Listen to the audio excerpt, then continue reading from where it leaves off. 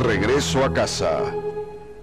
Buenas noches y bienvenidos al regreso a casa. Mi nombre es Marcos Gloday y soy el anfitrión de este programa en el cual he recibido el enorme privilegio de presentarles a personas que debido a su gran amor por Cristo regresaron a casa, a la iglesia.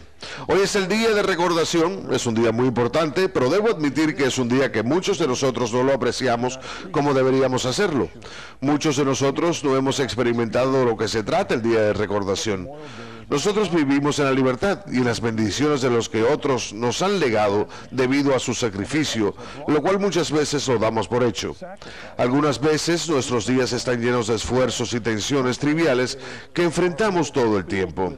Pero cuando ellos son puestos al lado del sacrificio que han realizado hombres y mujeres para que tengamos esta libertad, entonces todas estas tensiones diarias palidecen en comparación a lo que significa el día de recordación, en una forma que podamos entender de lo que se trata el día de recordación, la tranquilidad.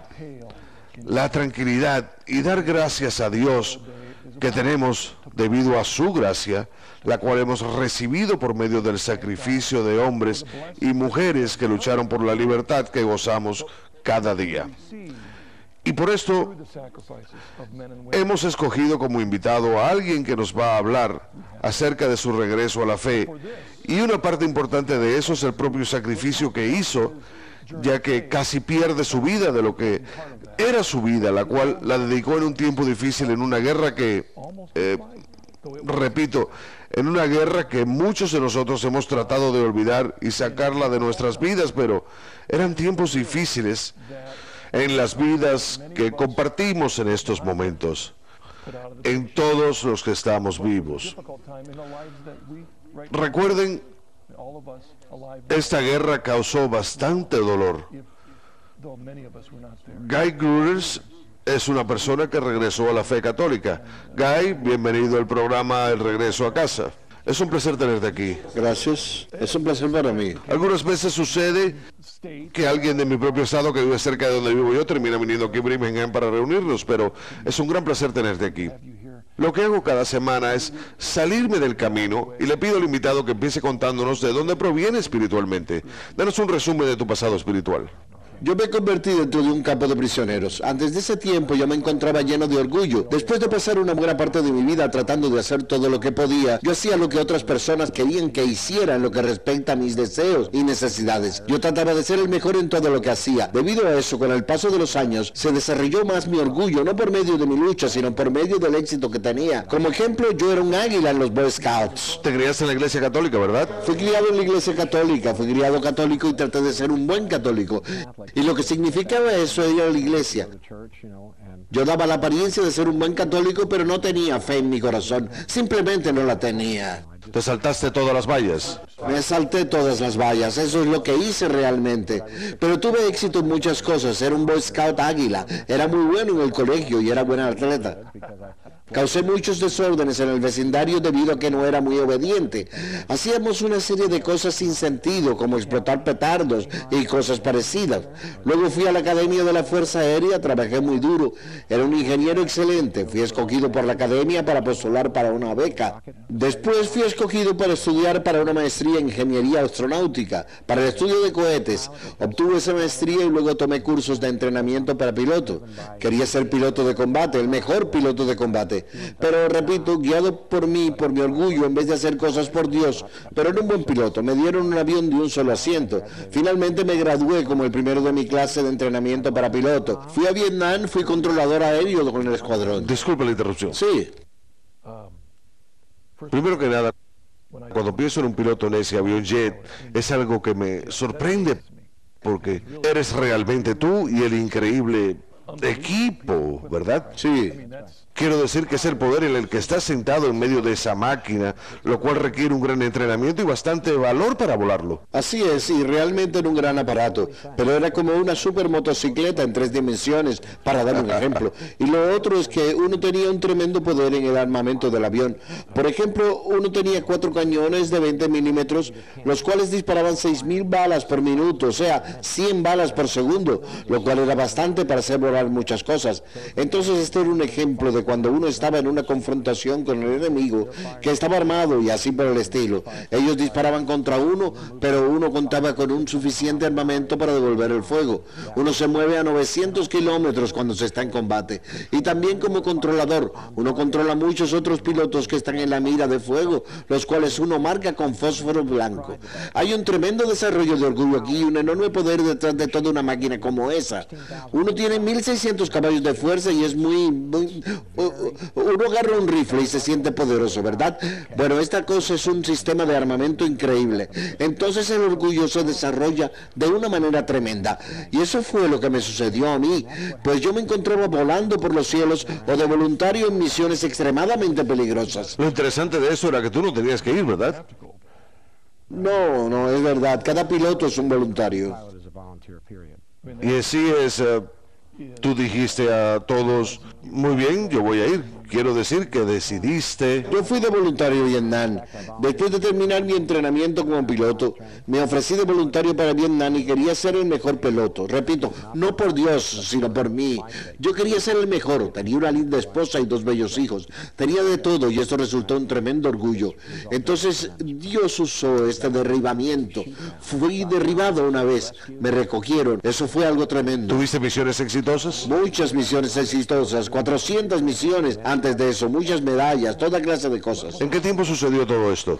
Esto sucedió en 1967. Yo fui ahí a fines de febrero del 67 y en ese tiempo eh, fui derribado y capturado en el mes de diciembre del año 1967. Esta fue la segunda vez que me derribaron. De repente fui de ser esta persona llena de orgullo que siempre ha visto triunfos a, a una persona que de repente es por completo humillada por unos hombres que eran más pequeños que yo, que me golpearon en la espalda, que me torturaron Hubo un compañero al cual golpearon y torturaron hasta la muerte ante mis ojos. Y esta fue una experiencia bastante terrible e increíble por la que yo pasé. El orgullo tiene una salida que se llama odio, ¿verdad? Porque debido a todo ese daño que me causaron, o como quieras llamarlo, y debido también a todas las cosas terribles que vi, tenía todo ese odio, lo cual sé que es una terrible rebelión contra Dios. Uno no debe odiar, lo sabía, pero luego lo puse de lado porque estaba tratando de derrotar a estos soldados. De una forma u otra yo iba a derrotarlos. Entonces hice una serie de cosas sin atacarlos físicamente, como pegarles en la boca, tratando de luchar contra ellos y de derrotarlos y así por el estilo. Pero era una lucha bastante difícil, pues los guardias nos vigilaban continuamente con rifles en la mano y nos golpeaban. Había peligro todo el tiempo. Por supuesto. Para ese tiempo habían muerto muchas personas. Solo había una persona en el pabellón, siete, que sobrevivió. Entonces las pocas personas de mi época que quedaban con vida, ellos estaban tratando al menos de mantenerlos vivos en la mayoría de los casos. La razón de eso era que ellos querían llevar a cabo una propaganda para el movimiento antiguerra allá en los Estados Unidos. Por tanto, ellos querían que nos torturasen y así mostrar propaganda para el movimiento antiguerra en los Estados Unidos. Eso era realmente eh, la meta más importante que perseguían. ¿Lo sabían ustedes? Por supuesto que lo sabíamos porque llevaban a las personas afuera y los torturaban y luego se reunían con las delegaciones eh, de liberales que venían de Estados Unidos. Nos torturaban terriblemente. El problema era que una vez que uno había pasado por esa tortura, se daba cuenta que uno probablemente podía sentirse doblegado. Es una cosa completamente diferente a la que uno siente cuando regresa aquí. Cuando uno está en las manos del enemigo y ha sido torturado, uno se siente doblegado. Yo nunca me sentí doblegado, pero sé que estuvo muy cerca de hacerlo. Podía haberme doblegado en cualquier momento. Decir que estas personas hacían literalmente lo que ellos querían, porque el dolor era muy intenso. Entonces, en ese tiempo de mi vida yo estaba recibiendo inspiraciones. Recuerda que estaba luchando esto solo, por mi propia cuenta. Yo estaba en control. Guy Grotters iba a derrotar a esos tipos. Yo iba a ganar, ¿está bien? Entonces, el resultado del orgullo, cuando uno se ve frustrado de esa forma, te hace sentir odio, ¿verdad? Cuando ellos lo golpean a uno, cuando uno es golpeado, cuando uno es realmente golpeado, uno llega a este odio horrible. Yo nunca había odiado de esa forma. Es un pecado mortal debido al odio. Esto era un odio que se sentía todo el tiempo, todo el día, desde que uno se despertaba. Uno sentía ganas de matar a estas personas, ganas de torturar, ganas de golpearlas. Todo esto significaba estar esclavizado al pecado del odio. Así fue como me encontraba y llegué al punto en que me hinqué completamente de rodillas, pues comencé a recibir inspiraciones que me hacían sentarme en un rincón y dejar de comer. Yo pensaba que estaba recibiendo inspiración de los buenos muchachos, pero cuando tuve eso, me di cuenta que estaba completamente equivocado. Tuve que perdonar a estas personas. Entonces me hinqué de rodillas, no me quedaban fuerza, no las tenía. Me hinqué de rodillas y le pedí a Dios, le dije, Dios, tienes que ayudarme, no puedo soportar esto. Obviamente me encontraba totalmente confundido en ese momento. Eh, quiero decir que si estoy recibiendo inspiraciones equivocadas para cometer suicidio, entonces estoy realmente equivocado. Tienes que ayudarme, tienes que ayudarme. Entonces le pedí ayuda y me hizo recordar todo mi pasado momento a momento, mes a mes. Él me hizo regresar. En primer lugar me dio fe. Eso fue un don, pues me dio la fe, la cual me hizo dar cuenta que Él se encontraba ahí mismo. Antes de ese tiempo, nunca me imaginé que iba a estar en un campo de prisioneros, pues era algo tan horrible que yo pensaba que Dios no lo iba a permitir. ¿Te imaginas eso? Yo no tenía fe. Yo me imaginaba que Dios no estaba en todas partes. Dios no está aquí. Entonces Él me mostró su presencia. ¿Cómo me la reveló? A través de las cosas diarias de la vida. Y luego fui viendo milagro tras milagros. Él me, libró de la tortura, me salvó del suicidio, me salvó de la desesperación, me salvó de todas estas cosas y me trajo de regreso a donde Él era realmente el centro de mi vida. Y estoy seguro que Él ha sido el centro de mi vida desde entonces. Yo he tratado de que Él sea centro de mi vida y ahora sé que no tengo ninguna fuerza sin Él. Él es toda mi fuerza y en todos estos años en que Él construyó mi fe han sido realmente una bella conversión y me ha llevado a creer y decir, Dios mío, la Iglesia Católica es realmente verdadera. No es solo palabra, parece que funciona realmente. Tiene realmente las respuestas correctas. Leí cuatro veces la Biblia en el primer año después que regresé y así por el estilo. Hice todo esto debido a que Él usó este campo de prisioneros para que me arrodillara, me arrepentí sinceramente y Él llenó de nuevo ese vacío que tenía ahí. ¿Cuánto tiempo estuviste ahí? Estuve ahí cinco años y tres meses. ¿En qué momento de tu vida sucedió este despertar interior? ¿Cuándo fue eso? Yo diría que fue entre los seis meses eh, y el primer año. ¿Que estuviste ahí? Sí. Entonces, después de eso, ¿estuviste tres años, cuatro años? Cuatro años. Fueron cuatro años esto. Así es, pero luego le fue fácil después de eso, porque Él me dio la fe, me dio la fe, me dio los ejemplos, me mostró sus milagros y yo vi su cuidado y sabía en ese momento que tenía la fe para entender que había sido derribado, que Él lo había permitido, que esa era su decisión, que era bueno para mí, que era algo grandioso para mí, que mi orgullo había sido roto finalmente. Yo vi todo eso, yo pude ver eso, Dios me permitió que lo viera. Entonces, ahora, como ves, ahora es diferente, ahora ya no estoy bajo mi control para derrotar a estas personas. ¿Te das cuenta de esto? No soy yo ahora, es Él. Yo soy su hijo, yo simplemente hago lo que Él dice, ¿ves? Y simplemente estoy tratando de hacer lo mejor que pueda para ser el mejor prisionero de guerra norteamericano en un campo de prisioneros comunista. Y estoy haciendo lo mejor que puedo. Y Él es aquel que... Él se encargó de cuidarme en las torturas y en cosas parecidas. Y efectivamente lo hizo. Y me salvó de las torturas y me dio el valor de tener la alegría. Tuve más alegría en el campo de prisioneros que la que había tenido antes en mi vida. Él me trajo realmente más cerca. Algo raro. Sí, ¿cómo podía haber sucedido eso? Pero tenía tremenda alegría en mi corazón, la cual me la había dado él. Yo oraba todo el tiempo y era simplemente, yo sentía... ¿Tenías el apoyo de otros prisioneros en este...? No, en ese tiempo no tenía realmente nada. Había otro prisionero, el cual era... Él era católico, pero no era, no era realmente... Ni siquiera iba, iba a la iglesia en ese tiempo. Entonces... ¿Qué es eso que tenía? ¿Era un sacerdote o algo parecido? No, no, nada parecido. Yo solo me hincaba de rodillas y le pedía a Dios que me ayudase y eso era todo. ¿Cómo respondían tus captores? ¿Respondían ellos? ¿Se daban cuenta de la diferencia o simplemente yo no sé si se daban cuenta o no, quizás lo hicieron después, quizás lo hicieron después. Yo creo que lo hicieron porque quiero decir que te voy a dar un, ejemplo.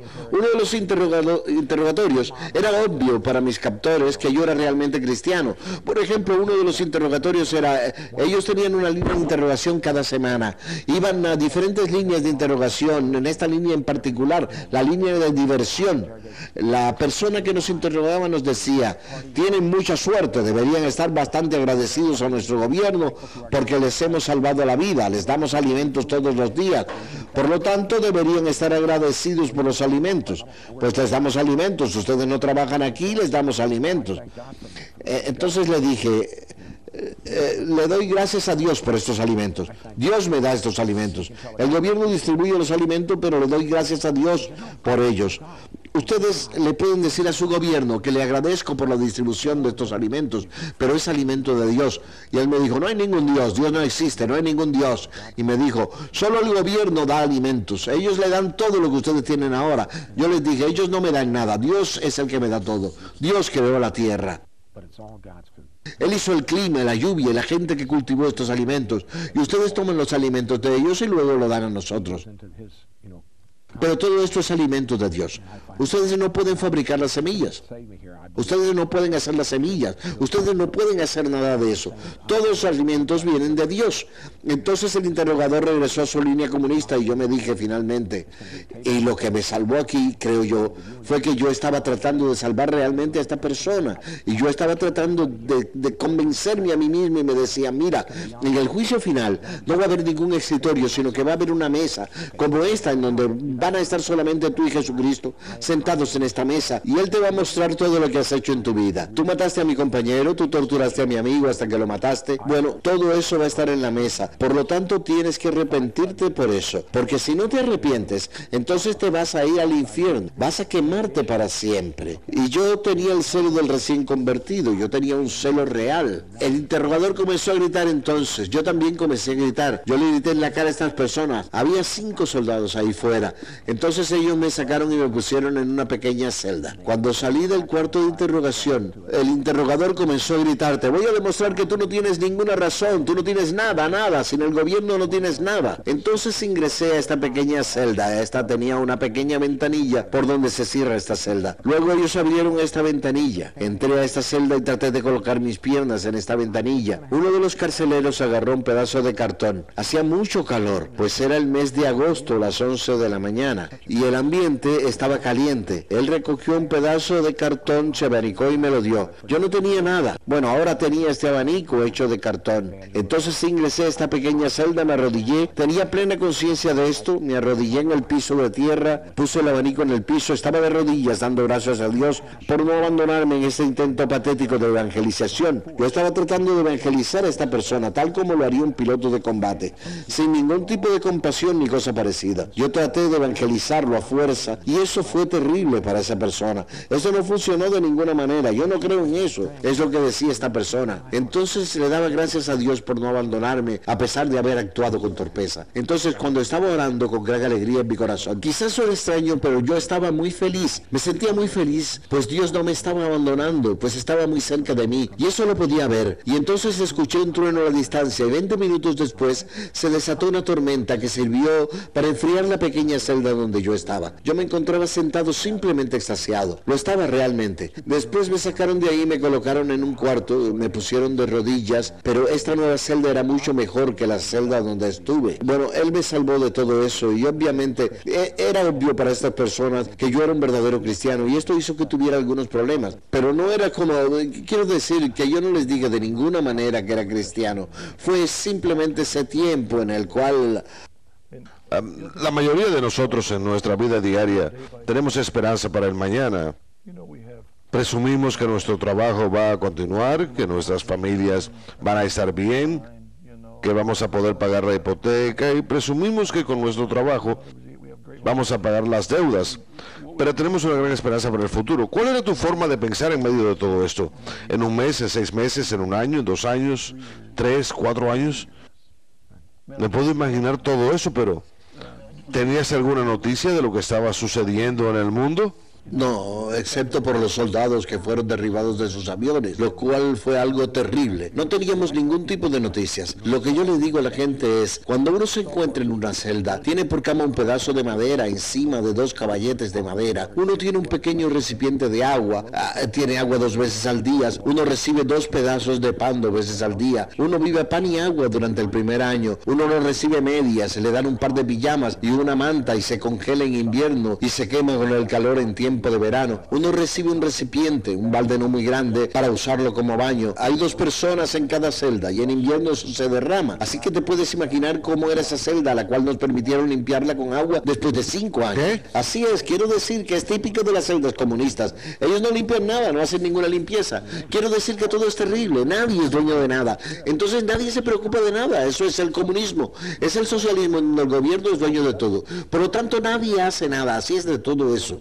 Bueno, este balde se derrama, entonces uno vive ahí en condiciones infrahumanas, no hay ventanas, ni puertas, tampoco libros, ni radios, nada. Y uno dice, el enemigo más grande con el que hay que luchar es el aburrimiento en esos primeros meses, debido a que uno está acostumbrado al estilo de vida norteamericano, el cual es de 18 horas al día, en donde uno hace varias cosas, duerme 6 horas y luego se levanta y comienza de nuevo. No hay tiempo para pensar, no hay tiempo para orar, una cosa tras otra, menos entretenimiento. Y de repente sucede todo eso. Y en muchas de las conferencias que dicto le digo al público, si quieren saber de qué se trata eso, de qué se trata el impacto emocional, de qué se trata la humillación que se sufre, vayan el próximo sábado a su baño, no lleven nada, consigo para leer ni cosa parecida. Cierren la puerta, cierren las ventanas, no dejen abierta ninguna puerta ni ventana y permanezcan encerrados ahí por seis horas. Ahora bien, ¿cuán duro es eso?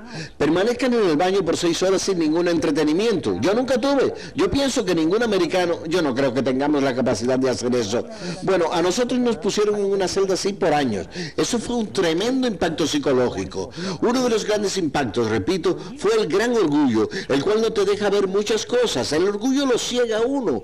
Uno de los grandes impactos fue que escogí el mundo que no me necesitaba. Yo estuve ahí por seis meses, un año, dos años, y el mundo seguía existiendo. No me necesitaba a mí. Guy Gruppers. El mundo puede ir bien sin mí. Ahora bien, todos nosotros pasamos por esto a medida que entramos en años y vemos que nos vamos deteriorando. Pero esto fue a los 24 años. A los 24 me di cuenta que yo no era nada importante, ¿verdad? Entonces esto fue un tremendo desmoronamiento de la juventud típica. O sea, la forma en que cuando uno es joven, uno siente que puede cambiar al mundo. El mundo es grande, pero uno lo puede cambiar. Hay una gran tarea ahí. En lo que respecta a salir de ese campo, parecía que nunca íbamos a salir de ese lugar. Era lo más duro de este encierro, porque el bombardeo fue suspendido en el año 1968. El bombardeo era la única presión que teníamos y no fue hasta que el bombardeo fue restablecido a finales del año 1972 que tuvimos. ¿Podían escuchar el bombardeo en donde estaban ustedes? Por supuesto. En ciertos sentidos, usted sabía que la gente seguía tratando y usted podía escucharlos, pero entonces... Ellos lo dijeron, ellos no lo dijeron, ellos dijeron que el bombardeo se detuvo en 1968, que el presidente Johnson detuvo el bombardeo para tratar de ganar las elecciones en 68. Pero lo que significaba eso era que ya no había más presión, es decir, que ellos nos tenían, nos tenían para siempre, y esa era una de las cosas más duras de aceptar, o sea, decir, voy a estar aquí por el resto de mi vida, y eso está bien, si Dios lo quiere así, está bien, ¿verdad? Es su juego, bueno, yo me presenté como voluntario para esta misión peligrosa para el norte de Vietnam, yo me presenté como voluntario para esa misión, mi orgullo fue lo que me condujo a esto, lo cual no debería de haber hecho, pues tenía esposa y dos hijos, esas clases de misiones son llevadas a cabo principalmente, los militares tienen una gran vocación de amor, todos tienen que ser hombres de lucha, todos estamos llamados a luchar contra el mal en forma moral, espiritual y física. Todos debemos estar listos para luchar, pero uno no necesita buscar problemas. Si uno es soltero, o sea, si es un militar soltero, un piloto de combate soltero, esa es la clase de misión para la que uno debe ofrecerse como voluntario. Pero el hombre casado, yo creo que fue un error. Yo creo que no consideré el hecho de que no debía hacer ese tipo de cosas. Yo estaba buscando problemas, realmente estaba buscando problemas. Entonces tomé la decisión equivocada debido a eso. La cosa básica a la que estaba esclavizado era tratar de ser el mejor y dejé que eso destruyera mi juicio acerca de llevar a cabo asuntos peligrosos en donde no tenía que participar, pues tenía una familia que me necesitaba. Pero tu pregunta fue cómo fue eso. Bueno, fue algo increíble y bastante duro. Eso es lo que conduce a uno a la desesperación, lo conduce al suicidio. Es bastante duro cuando uno no tiene a Dios. Dios permitió que fuera algo terrible y Dios nos sacó de eso. Y no era solamente yo, todo el mundo decía lo mismo, que Dios nos sacó de esa situación. Las personas que logramos salir de eso recurrimos a Dios por ayuda y Él nos dio valor para, de otra forma hubiésemos tenido muchos temores, muchos temores. Cuando la vida de uno está está construida sobre uno mismo y es orgullo y le es quitada, no queda nada de esperanza. No hay esperanza y uno solamente, entonces ahora uno quiere cometer suicidio, uno se siente derrotado. Hubo siempre el pensamiento de si me uno a esas personas podría ganar nuevamente esa posesión, esa esperanza, pues voy a estar al lado de ellos, no que había ese pensamiento. Había bastante, éramos 300 personas ahí y nadie cayó en esa tentación. Quiero decir que era una verdadera tentación. Yo estaba muy eh, mirando en, retrospectiva. Estaba feliz que nosotros, los soldados americanos, estábamos un poco destruidos en comparación al resto del mundo. Estábamos tan destruidos, pero lo hicimos muy bien, lo hicimos bien en ese aspecto. Nosotros luchamos con valentía y no nos rendimos. La tentación era, dennos algo y lo vamos a ayudar. Vamos a hacer que todo sea fácil para ustedes y nadie de los que andaban conmigo hizo algo de eso y eran 300 personas. Y quizás un par de personas lo hicieron, pero nadie de los que andaban conmigo lo hizo. Eso es en parte por lo cual quería que fueras mi invitado en ese día de recordación, era porque es como has dicho tú, estamos destruidos como cultura, estamos destruidos. Y cualquiera de nosotros sería capaz de soportar esa presión cuando día a día nos enfadamos debido a que las cosas no nos salen bien en nuestras vidas. Pero, por un lado, sabemos lo difícil que es que nos cuentes todo eso, pues nosotros no estuvimos ahí. Pero, sin embargo, tú eres un mártir, eres un testimonio, y eso es lo que quiere decir mártir. Eres un testimonio para nosotros. Y eso hace que apreciemos la libertad que tenemos y que estamos tratando de ayudar a nuestros hijos para que entiendan cuando vivimos cada día con la habilidad de salirnos de ese baño que pusiste como ejemplo que no nos quedamos encerrados en una celda todo el día. Pensemos en todas las cosas que hacemos cada día y que las damos por hecho. Todo eso es un regalo debido al sacrificio que han hecho hombres y mujeres como tú por la libertad. Esto es lo que queremos pensar el día de hoy. Vamos a hacer una pausa y vamos a regresar para conversar más sobre cómo nuestra fe nos ayuda a apreciar el día de recordación para que lo podamos celebrar de la manera adecuada. Regresaremos en un momento.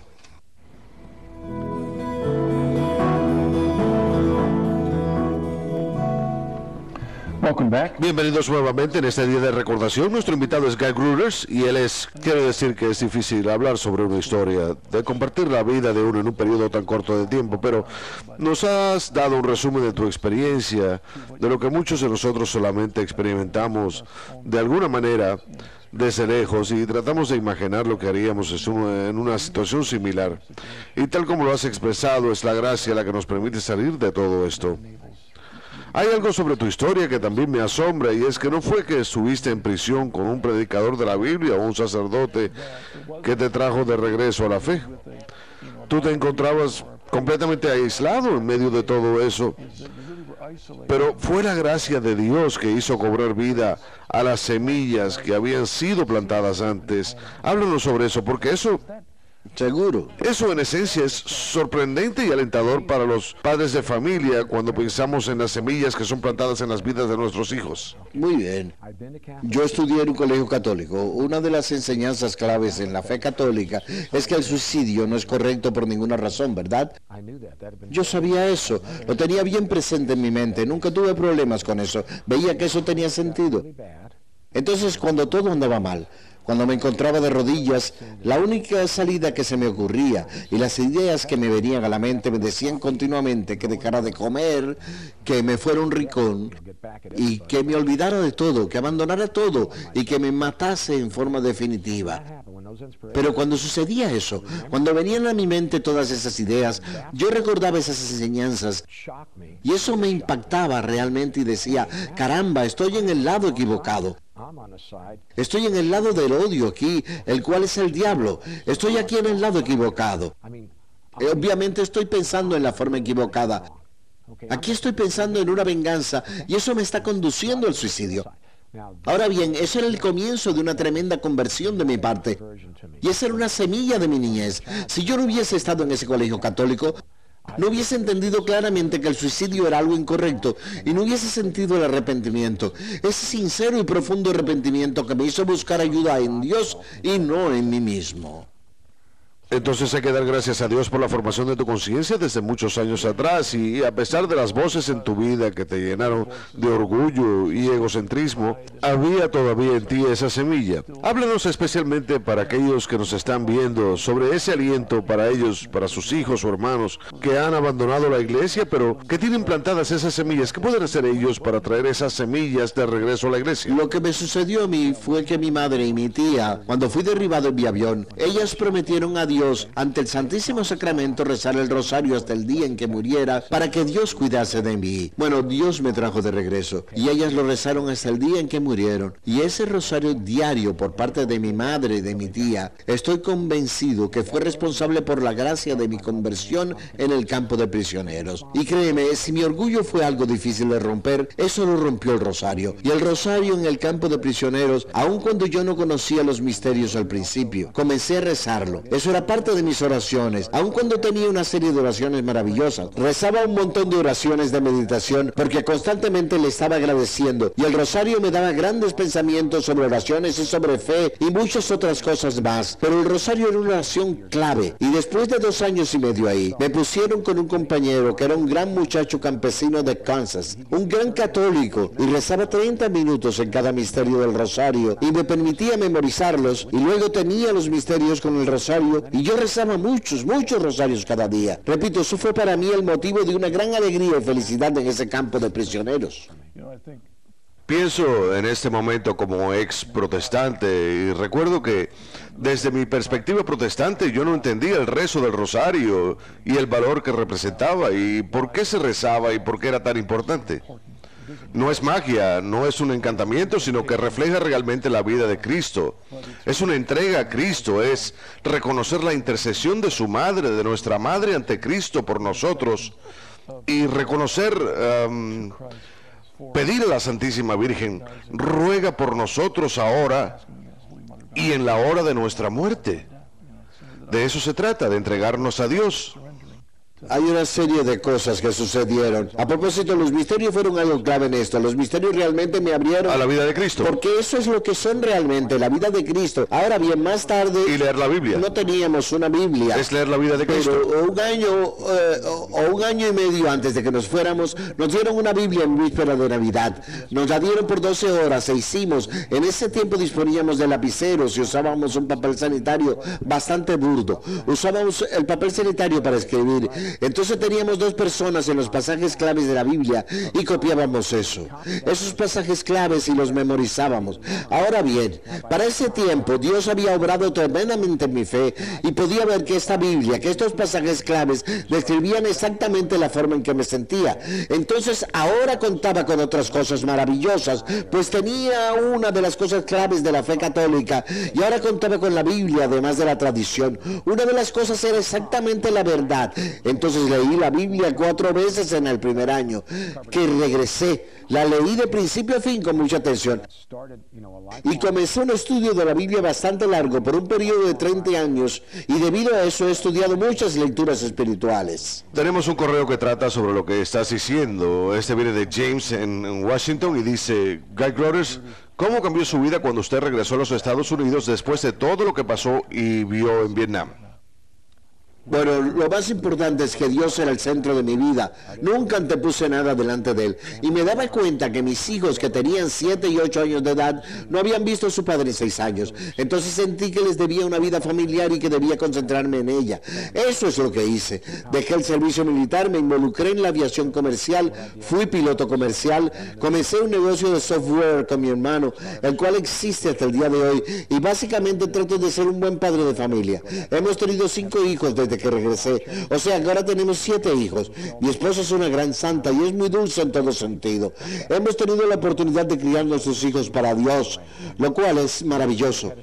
Ya no me preocupo por grandes logros ni cosa parecida. Simplemente me preocupo por lo que dice la Iglesia Católica. Trato de hacer lo que estoy supuesto a hacer, de hacer lo mejor que puedo cada día con oración.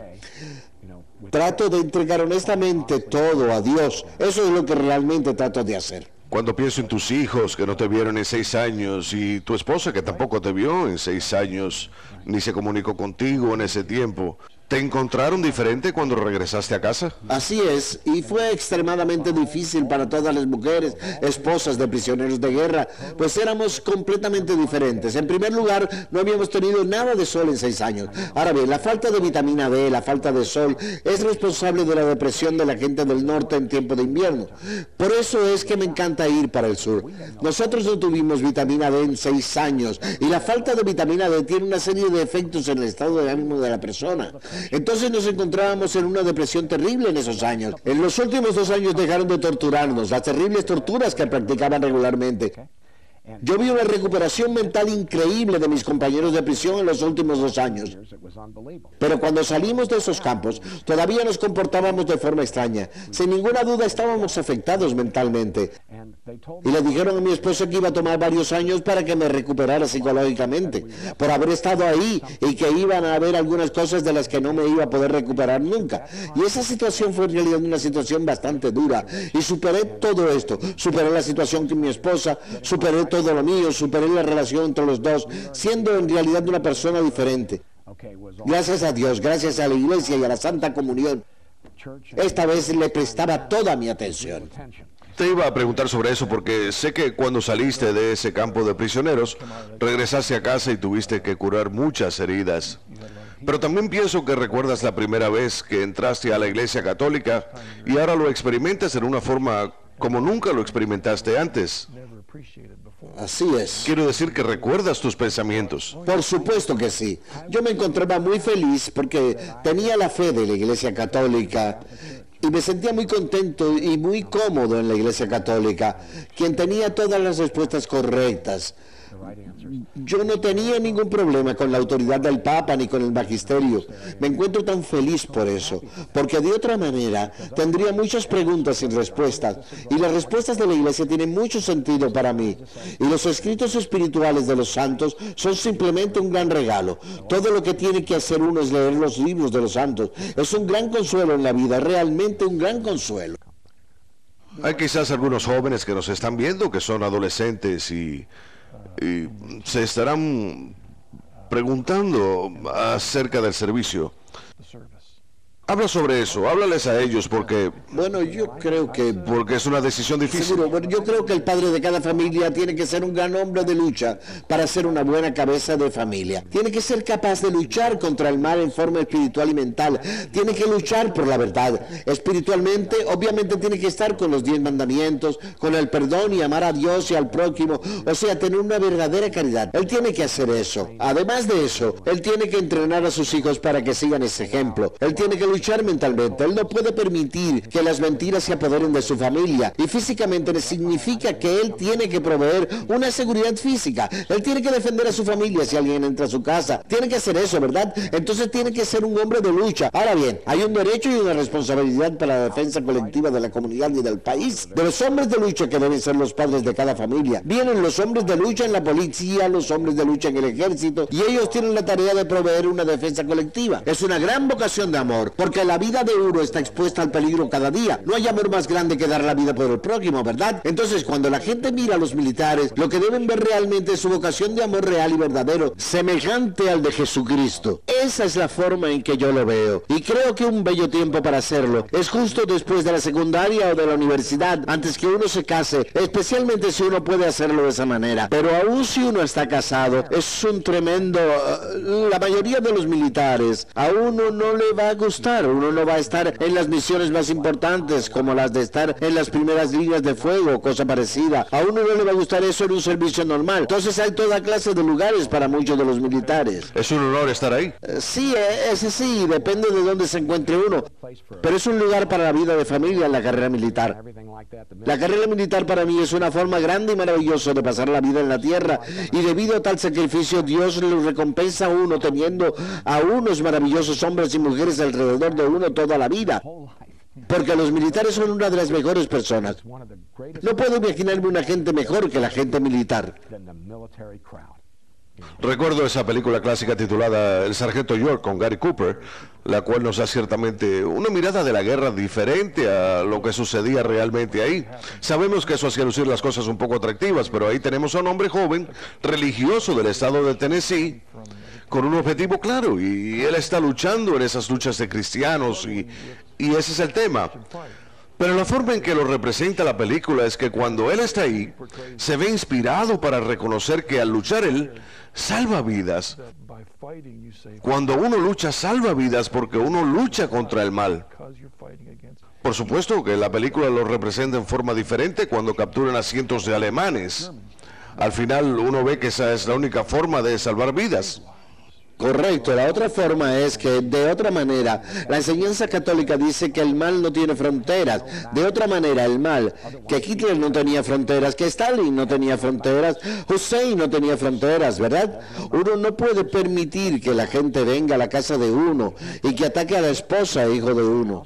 Uno no puede caminar con alguien que es atacado por una pandilla y no defenderlo. Ahora bien, cuando uno va tras 20 personas que han golpeado a alguien, esa es una situación delicada pero no importa, pues solamente hay una cosa por hacer si uno no es un cobarde y es detener a esas personas que han golpeado a esa persona. Y eso es lo que hacen la policía, los bomberos y los militares. Eso es lo que hacen realmente. Un soldado bien intencionado es un buen cristiano. Y algunas veces tomamos la libertad por hecho y cuando la batalla, la amenaza está ahí lejos, decimos, eso es su problema. Y nos tomó un tiempo en las dos grandes guerras darnos cuenta en este lado del océano que era nuestro problema, no solamente de ellos, sino que también es nuestro problema, lo cual es la razón por la que te ofreciste como voluntario para ir tan lejos, porque reconociste que era también nuestro problema. Correcto. Y estamos lidiando con eso. Estamos haciendo lo mismo hoy en día. Teníamos ese problema y lo sentimos en su plenitud cuando tocó nuestro suelo, aquel 11 de septiembre. Pues conocimos toda la realidad de eso. Pero esos son los temas sobre los cuales tenemos que reflexionar en el día de recordación. Y tenemos un que expresa algunos pensamientos que quiero preguntarte. Ese correo es de Sara en la Florida ella escribe, ¿qué es lo que piensa usted que podemos hacer en el día de recordación y todos los días para apoyar a nuestras tropas que pelean por nosotros en varios países? ¿Qué es lo que podemos hacer? Bueno, yo creo en primer lugar que debemos tener una actitud muy positiva hacia los militares y hacia los hombres que prestan servicios, ¿verdad? Debemos orar. Quiero decir que orar debe ser parte de la vida de todos cada día. Y cuando tenemos nuestras oraciones generales, parte de eso debe ser por los hombres que pelean para limitar los ataques, ellos están luchando en 50 países. Nuestras fuerzas de tareas especiales están luchando en 50 países en el mundo en este momento. Ellos están luchando en diferentes partes del mundo. Tenemos una tarea de defensa aquí. Es realmente un acto de defensa a favor de la vida. Entonces estas personas se encuentran en un tremendo peligro. En muchos casos. Y debemos orar por ellos para que en primer lugar tengan éxito. Y si no tienen éxito y mueren, que vayan al cielo y así por el estilo. Para mí la oración es siempre la respuesta correcta cuando uno no se encuentra en la misma lucha. Desearía que hubiera una forma en que pudiéramos difundir el mensaje. Una cosa es tener una opinión diferente acerca de lo que estamos haciendo ahí o si debemos o no estar ahí. Esa es una cosa, pero cuando tenemos hombres y mujeres ahí, no debemos debatir estos temas en el sector público. Eso es lo que me molesta realmente. Yo, creo que tan pronto como tan pronto como eh, cuando comprometamos legalmente a nuestras tropas para que combatan como lo ha hecho el presidente en el Congreso, eso debe ser el fin de todo debate público. Y no creo que debemos tratar de hacer cambiar a nuestras tropas o sus esfuerzos, porque yo creo que eso significa que los terroristas van a ganar finalmente. Bueno, tú eres un testimonio de por qué ellos trataron de hacerte cambiar en el campo de prisioneros, porque ellos se estaban usando para la antiguerra. Las cosas impactantes que nos decían en interrogatorio tras interrogatorio era, ellos nos decían, nosotros vamos a ganar esta guerra. Y nosotros les contestábamos, ustedes nunca van a ganar esta guerra porque nosotros los derrotábamos cada vez que combatíamos. Pero ellos nos decían, nosotros sabemos que militarmente no les podemos ganar, pero podemos ganar a los Estados Unidos. Así es como derrotamos a Francia, y es así como vamos a derrotar a los Estados Unidos. Vamos a derrotar a los Estados Unidos en los Estados Unidos. Y tenían razón, y podemos ver que están haciendo lo mismo en el tema de Irak. Y el hecho es que la única desgracia de Vietnam es haberla perdido, de abandonar la batalla. Esa es la única desgracia.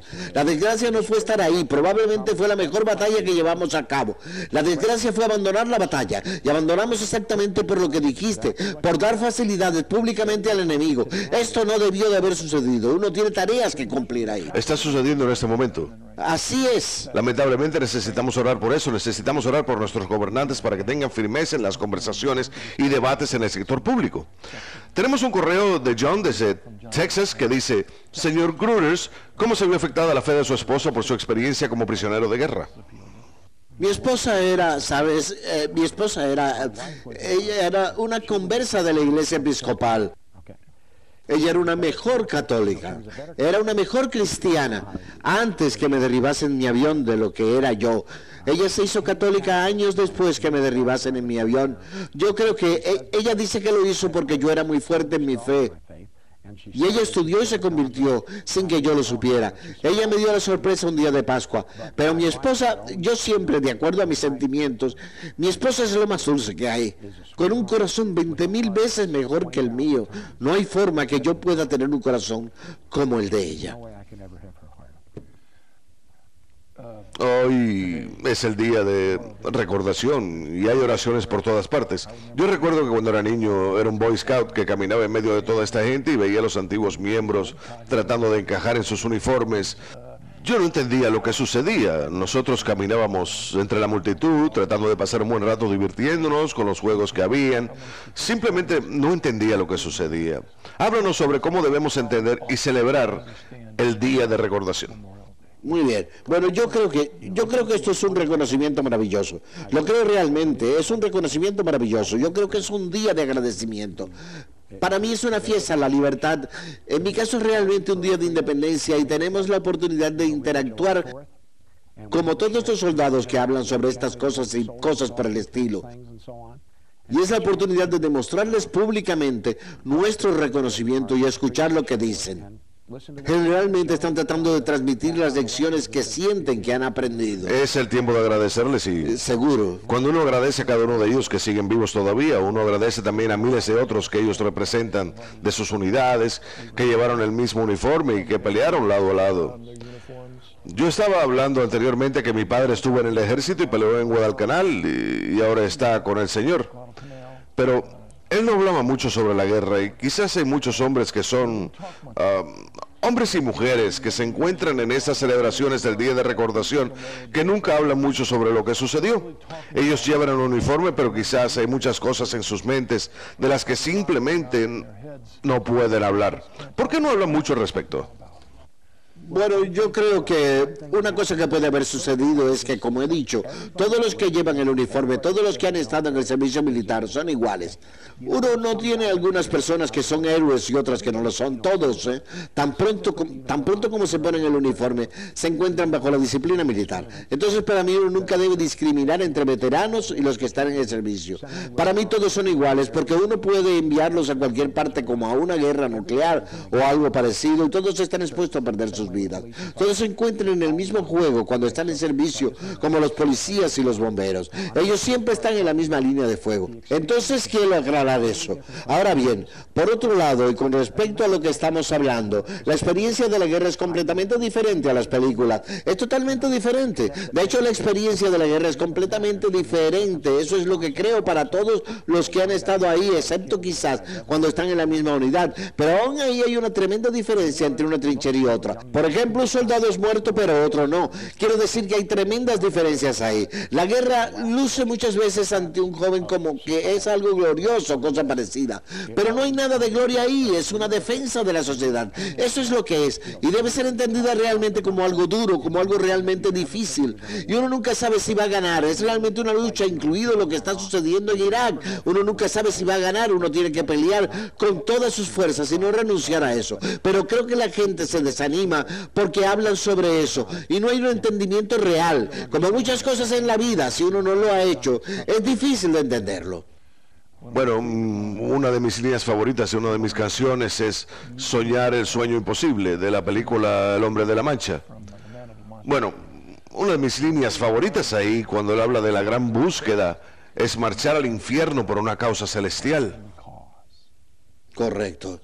Marchar al infierno por una causa celestial.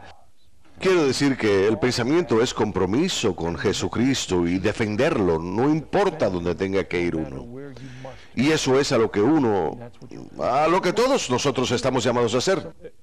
Muchos de nosotros no estamos llamados a poner nuestras vidas en la línea de fuego como hiciste tú, que experimentaste, pero en nuestra vida diaria, ya sea en el trabajo, en el vecindario o con nuestros hijos, luchamos, como dices tú, luchamos contra el diablo. Y debemos estar dispuestos a marchar al infierno. Correcto. Por esa causa celestial. Correcto. La lucha más difícil es a nivel espiritual, ¿verdad? Uno lucha contra el aborto, que es un pecado de la sociedad, así como uno acaba con las guerras. Uno lucha contra el aborto, la homosexualidad, pornografía, divorcio. Uno elimina estas cosas y la forma de eliminarlas es luchar contra ella día a día. No es siquiera una lucha física, pero es una forma de asegurarse realmente que uno no se involucre en grandes guerras, sino que hay que eliminar los grandes pecados de nuestra sociedad. Y lamentablemente la misma ideología contra la que estabas luchando ahí se encuentra aquí en nuestras instituciones, en nuestros colegios. Hay una cantidad de batallas que tenemos que librar aquí en casa. Tenemos un correo de Jason desde Montgomery que dice, Guy, ¿cómo fuiste liberado del campo de concentración? Asimismo, ¿has tenido la oportunidad de ponerte en contacto con algunos de los captores desde que acabó la guerra? Eh, eh, lo que respecta a los captores, no, no, he decidido hacer eso. No, no tengo, yo he tratado, no estoy interesado en ser juzgado por Dios en el día del juicio final por tener rencor. Yo no guardo rencor contra nadie, pero no estoy buscando regresar ahí o cosa parecida. Eh, en lo que respecta a la otra pregunta, la otra pregunta era... Eh, ¿Cómo fuiste liberado? ¿Cómo fui liberado? Nixon en 1972, a finales del 72, empezó el bombardeo del norte de Vietnam, un fuerte bombardeo en el norte de Vietnam, lo cual los hizo sentarse a la mesa de negociaciones a comienzos de enero y firmaron el acuerdo de paz en donde decidieron tener una sola Vietnam y Vietnam del Sur quedaba libre y todos los prisioneros de guerra tenían que ser liberados y nosotros fuimos liberados pocos meses después. Entonces regresé a casa, ellos pusieron aviones de transporte C-141 de la Fuerza Aérea en el aeropuerto de Hanoi y fuimos transportados ahí en autobuses desde el campo de concentración y luego traídos a los Estados Unidos. ¿Cómo supiste eso? ¿Establecieron un día determinado? ¿De repente alguien abrió la puerta? O? Te voy a decir cómo fue. Realmente fue algo gracioso. Pues en ese tiempo nos encontrábamos en Danyens, que está en la selva con la frontera de China, que daba en los altos de las montañas, cerca de los Himalayas, en el norte de Vietnam, cerca de la frontera. Y nos dijeron que nunca íbamos a dejar ese campo a menos que acabase la guerra cuando fuimos llevados ahí ocho meses antes o cosa parecida. Ahora bien, esa noche en particular, el camión de suministro venía una vez cada mes con alimentos para... Eh, había cerca de 200, quizás 150 prisioneros de guerra en ese campo. Entonces, a la distancia, se podía escuchar el sonido de un camión subiendo por el camino de la montaña y uno podía escuchar el ruido del motor. Entonces uno escuchaba el ruido del motor y sentía que se acercaba el camión. Uno de los compañeros se subió en los hombros de otro compañero y así pudimos ver lo que sucedía. Había una salida de ventilación, no había ventanas, pero había una salida de ventilación como tres metros.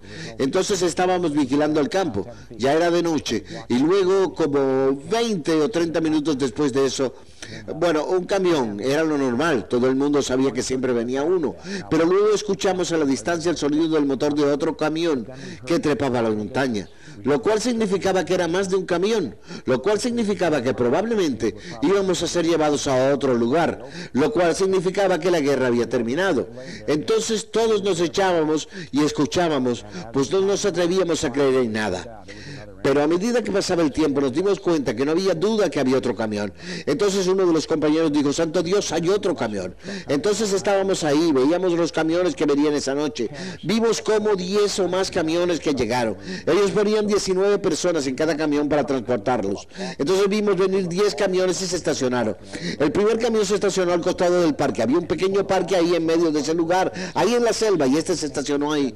Luego escuchamos el segundo camión y cuando llegó este, entonces se aparecieron como otros 10 camiones. A comienzo de la siguiente mañana nos pusieron en cada camión a razón de 19 personas en cada uno. Nos vendaron los ojos, íbamos encadenados y llevábamos todas nuestras pertenencias. Al comenzar el viaje, debido a las condiciones del camino, comenzamos a vomitar uno sobre el otro. Todos nos encontrábamos en una condición terrible. Entonces, después de eso, era un viaje de regreso de 24 horas a Hanoi. Después de 6 horas de viaje nos detuvimos y nuestro comandante le dijo al comandante del convoy vietnamita, él le dijo, necesitamos cierta ayuda aquí. Estos soldados necesitan un baño, están llenos de vómitos. Pero el vietnamita contestó, no se preocupe, de todas maneras pronto van a estar ustedes en casa.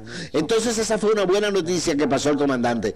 Por lo tanto, esa fue la primera vez que supimos que algo estaba ocurriendo. Luego nos llevaron a lo que llamamos el campamento de regreso a casa. Este campamento de regreso a casa tenía un acuerdo con los Estados Unidos que indicaba que íbamos a vivir ahí un grupo en particular de pilotos que habían sido derribados. Había una orden para liberar a los pilotos derribados. Nosotros éramos el tercer grupo e íbamos a ser liberados el 13 de marzo de ese campamento en Hanoi. Por lo tanto, tanto, en los dos meses siguientes, nosotros no, lo creíamos, pero esperábamos estar pronto en casa. Algunas palabras de aliento para alguien que nos esté mirando como hijos, hermanos u otro que estén en el servicio en este momento. Muy bien. ¿Algunas palabras de aliento? Yo diría nuevamente que lo mejor en el mundo es la misa y comunión diarias, así como el rezo del rosario y tratar de dar a sus hijos la libertad de regresar por su propia cuenta.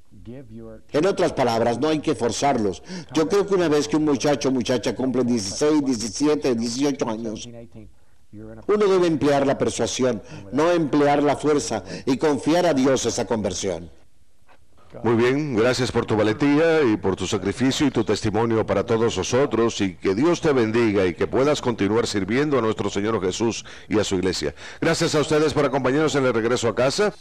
Celebremos este día en la forma en que está supuesto ser celebrado y agradezcamos a Dios por lo mucho que nos da muchas veces a través de la vida de otros cuando experimentamos su amor y su protección y el regalo de su gracia. Dios os bendiga. Nos veremos la próxima semana.